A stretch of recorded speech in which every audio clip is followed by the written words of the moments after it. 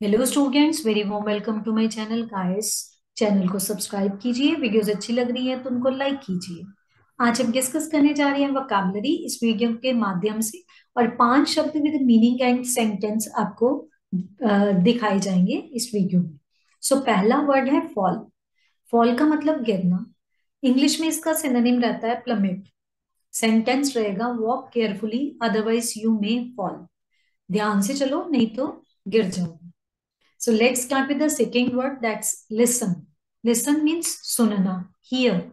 So sentence रहेगा I listen to everyone before taking decision. Guys, grammar का एक tip आप सभी को बताने जा रही हूँ जब भी लिसन वर्ड यूज़ होता है सेंटेंस में ये टू uh, इसको फॉलो करता है मीन्स लिसन के बाद की और टू लगाते ही लगाते हैं मेजॉरिटी ऑफ़ द सेंटेंसेस में यही चीज़ होती है अगला शब्द है इग्नोर इग्नोर मतलब अनदेखा करना, नजरअंदाज करना take no notice of so sentence रहेगा इसमें always ignore the negative criticism जो नेगेटिव आलोचना है, नकारात्मक आलोचना है, उसको अनदेखा करो. Next word is justice justice होता है न्याय फेयरनेस इंग्लिश में इसका सिनोनिम सो सेंटेंस है the victim must get the justice on time means जो भी विक्टिम है किसी अपराध का, उसको न्याय मिलना समय पर ज़रूरी है।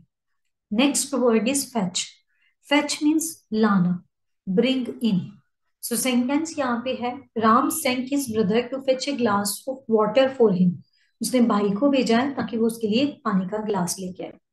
So guys this is all about today's video hope आपको वीडियो अच्छा लगा होगा।